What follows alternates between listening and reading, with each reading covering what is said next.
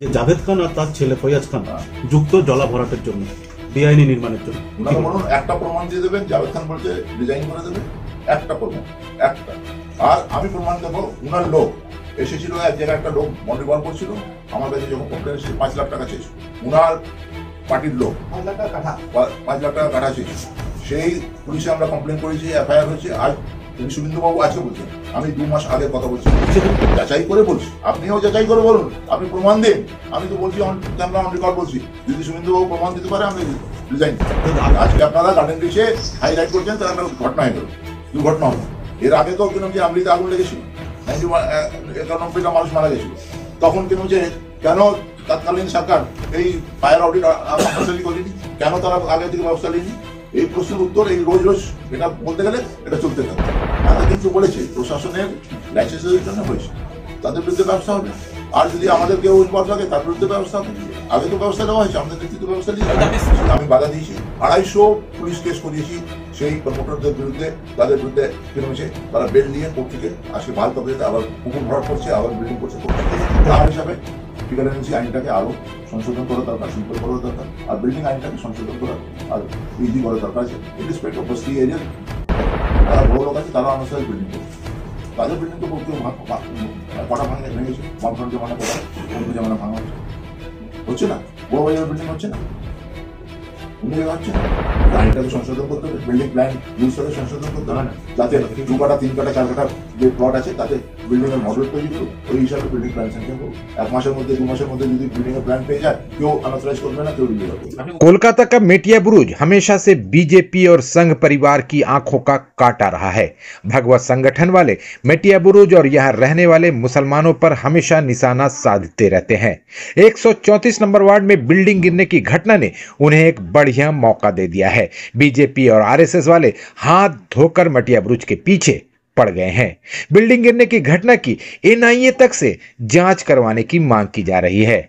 मटिया बुर्ज के साथ साथ अब तोपसिया को भी निशाने पर लेने की साजिश शुरू हो चुकी है।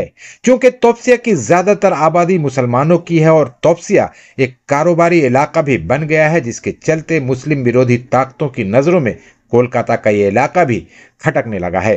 134 नंबर वार्ड में बिल्डिंग गिरने की घटना के साथ तोपसिया का नाम भी जोड़ने की कोशिश की जा रही है।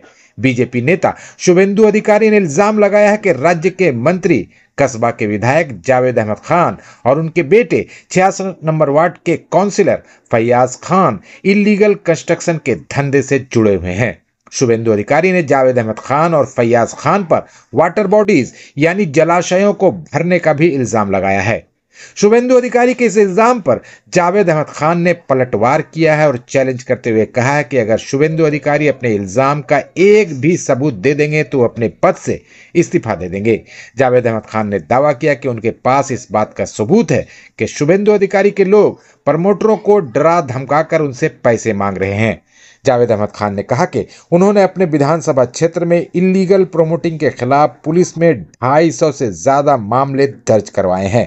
उन्होंने कहा कि अगर इलीगल कंस्ट्रक्शन रोकना है तो उसके लिए बिल्डिंग रूल्स को आसान बनाना होगा আজকে কাউন্সিলর যদিও সে মানুষ কিন্তু যে বিধায়ক সেও মানুষ তাহলে আপনি যদি হয়তো বলছেন না তো অনেক জায়গায় তো আমরা ডাইরেক্ট গিয়ে বলতে পারছি না আমাদের কমপ্লেন লিখিত করছি মানে আমরা তো পারছি বলছি কিছু বলতে পারছেন হ্যাঁ? আপনারা তো জনপ্রতিনিধি না, না, ভয়ের ব্যাপার না ভয় যেটা হচ্ছে এখনকার সময়ে প্রত্যেকটা মানুষ ভয় খায় কেন ভয় খায় কি আজকের দিনে যা অবস্থা কিরম যে চলছে সারা দেশে কাউকে কিরম যে আহ, বলতে হবে কিরম যে এই মাংসটা খাবেন না এই এটা এই কাপড় পরবেন না এইসব এইসব চলছে। এইসব পরিবেশে এখন ভয় প্রত্যেকটা মানুষ আমারও আছে আপনারও ভয় আছে। আপনারা জান কিরম যে যখন কভার করতে যান তখন আপনাদের উপর আক্রমণ হয় না? তখন ভয় তো আপনাদের থাকে। এটা শেষ প্রশ্ন। হ্যাঁ। বলছি শুভেন্দু অধিকারী আজকে করিমপুরে বলছেন যে জাভেদ খান আর তার ছেলে ফৈয়াজ খান হ্যাঁ। যুক্ত জলা ভরাটের জন্য। বেআইনি নির্মাণের জন্য। বলুন একটা প্রমাণ দিয়ে দেবেন জাভেদ খান বলছে রিজাইন করে দেবে একটা প্রমাণ একটা।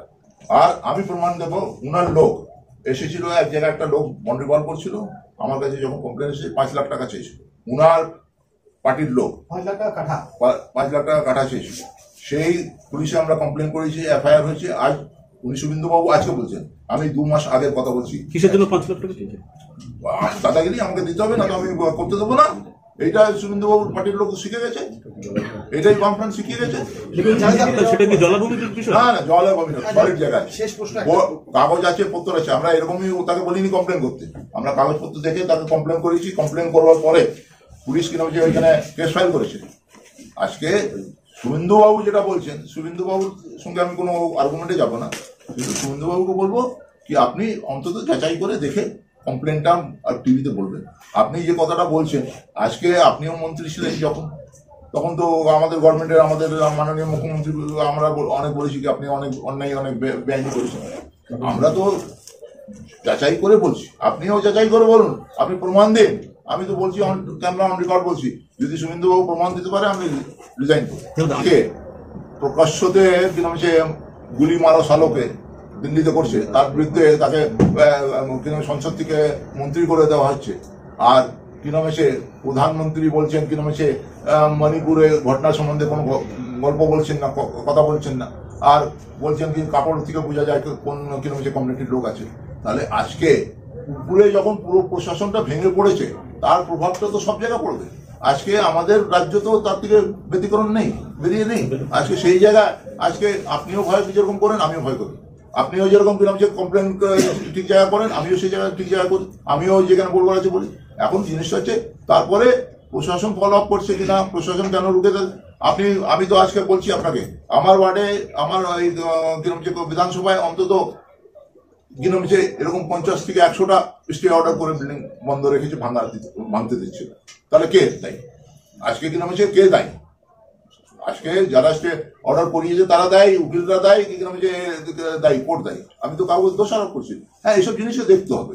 যেরকম হাইকোর্ট দিয়েছে, কি কিরম যে কোনো বিল্ডিং এ আর স্টে অর্ডার হবে না। ইলিগাল হতে গেলে এন্টারটেনই করা হবে। খুব ভালো সিদ্ধান্ত। আমি ওয়েলকাম করি। কিন্তু তার সঙ্গে আমি এটা বলি, যেটা কিরম যে হাইকোর্টের উচিত দেখা। কি বিল্ডিং ভাঙার অর্ডার দিচ্ছেন, তার সঙ্গে এই যে মানুষগুলো যারা থাকছে তাদের পুরন বাসনের কি ব্যবস্থা হবে?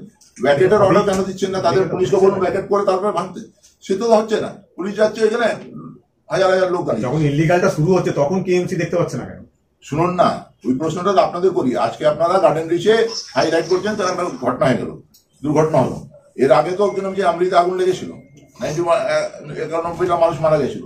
তখন কিরম যে কেন তৎকালীন সরকার এই ফায়ার অডিট করেনি? কেন তারা আগে থেকে ব্যবস্থা নেয়নি? এই প্রশ্নের উত্তর এই রোজ রোজ এটা বলতে গেলে এটা চলতে থাকবে। সমাধান করতে হলে তৃণমূলের কোনো দায় নেই, এই গোটা ঘটনা। একশো সবার দায়ী আছে। আপনার দায়ী আমার দায়ী সবার দায়ী আমাদের দায়িত্ব সরকারকেও আছে। নিতে হবে। শুনুন না আজকে যারা আপনি তো আজকে ফিরাদ হাকিম কি কথা বলেছে আপনি তো দায়ী আপনারও তো দায়ী আপনার তো ক্যামেরা আছে আপনি দেখাতে পারতেন না। উনি না, উনি- উনি বলছেন। আজকে ফিরাদ হাকিম তো বলেছে প্রশাসনের লাইসেন্সের জন্য হয়েছে। তাদের বিরুদ্ধে ব্যবস্থা হবে। আর যদি আমাদের কেউ ইনভলভ থাকে তার বিরুদ্ধে ব্যবস্থা হবে। আগে তো ব্যবস্থা নেওয়া হয়েছে আমাদের নেতৃত্ব ব্যবস্থা ওয়ার্ড হয়েছে কিন্তু দেখা যাচ্ছে যে একশো সাত নম্বর একশো আট নম্বর ওয়ার্ড যেগুলো আপনার বিধানসভার অন্তর্গত সেখানেই সব থেকে বেশি বিগত কয়েক বছরে জলবায়ু ভরাট হয়েছে এবং বেআইনি নির্মাণ হয়েছে। কর্পোরেশনের কাছে সেই তথ্যও রয়েছে।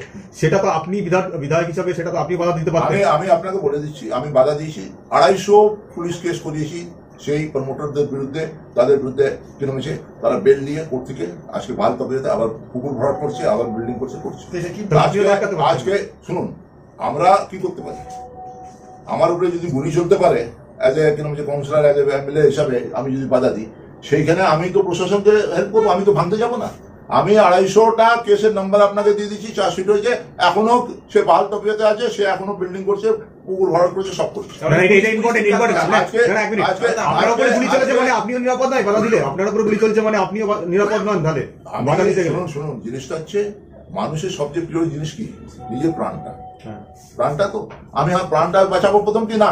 আমি তো অবজেকশন দিয়েছি। আমি অ্যাডমিনিস্ট্রেশনকে জানিয়েছি। আমার কাছে ফাইল আছে প্রত্যেক বছরের ফাইল আছে আমি কতগুলো কমপ্লেন করেছি কতগুলো কিরম যে অ্যাকশন হয়েছে কি হয়েছে সব আছে আমার কাছে। আপনারা যদি চান একদিন আসবেন আমি পুরো ফাইলে জেরক্স করে দিয়ে দেবো। কেন অ্যাকশন হয়নি বাম জমানায় আমরা সেটা উত্তর দিই ঘটছে সেখানে যারা জনপ্রতিনিধি কাউন্সিলর যারা তাদের অনেক বেশি অ্যাক্টিভ হওয়া উচিত বা দেখা উচিত ইলিগাল কনস্ট্রাকশন বা এগুলোর বিষয়। একটা বাড়িতে পাঁচটা ভাই আছে। পাঁচটা ভাই এক সমান সব কাজ করতে পারে, সব সব নিজের নিজের চিন্তাধারা কাজ করতে আজকে সেই জন্য তো, আজকে আমাদের গণতন্ত্রের মধ্যে এত মানে সুন্দর ব্যবস্থা করা আছে যে আপনার মনে হলো আপনি অমুক পার্টি করলেন, আমার মনে হলো অমুক পার্টি করলাম। এই জন্য তো, আজকে উচিত সব কিছু করা। কিন্তু সেটা উচিত, কখন হবে, আমরা চেষ্টা করতে পারি, একসঙ্গে বসতে পারি। সেই জন্য আপনাদের ডেকেছি। যে আপনারাও সাজেশন দিন, কী করতে হবে? এই বিল্ডিংগুলো আনাসাইজ না হয়, কি করতে হবে?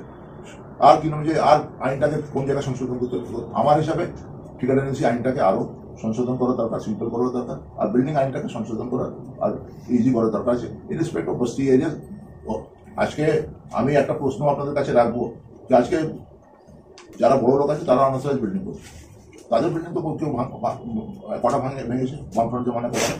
জমানা ভাঙা হয়েছে। হচ্ছে না? বড় বাজার বিল্ডিং হচ্ছে না? অন্য জায়গা হচ্ছে না। তো আজকে দোষ আরোপ করে কিছু হবে না। হ্যাঁ এটাতে যাতে আর না হয় ফিউচারে তার জন্য সজেশন দরকার আছে সজেশন দিন আপনারা দিন আমরা বলব যে আইনটাকে সংশোধন করতে হবে বিল্ডিং প্ল্যান রুলসটাকে সংশোধন করতে হবে। যাতে দু কাটা তিন কাটা চার কাটা যে প্লট আছে তাতে বিল্ডিং এর মডেল তৈরি করুক ওই হিসাবে বিল্ডিং প্ল্যান স্যাংশন করুক। এক মাসের মধ্যে দু মাসের মধ্যে যদি বিল্ডিং এর প্ল্যান পেয়ে যায় কেউ আনঅথরাইজ করবে না কেউ বিল্ডিং করবে আপনি মুখ্যমন্ত্রী বা মেয়রকে বললেন এই ব্যাপারে যেটা বলছেন আপনি? নিশ্চয়ই বলব। আগে বলেছি এখনও বলব।